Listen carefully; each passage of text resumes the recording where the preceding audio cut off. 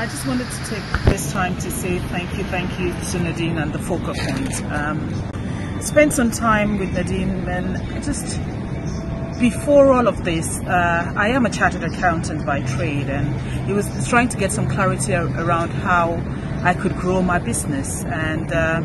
it was very much, I do know I want to serve a lot of clients, but it was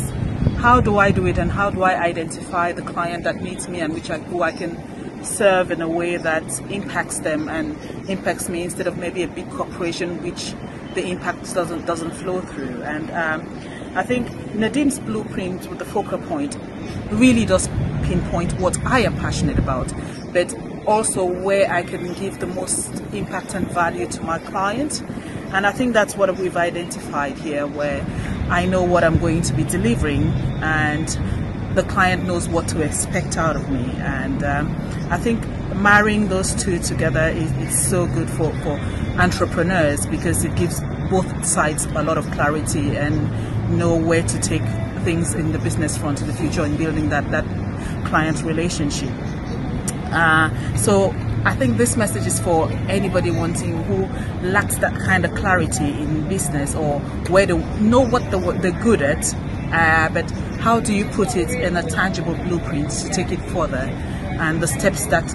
take you there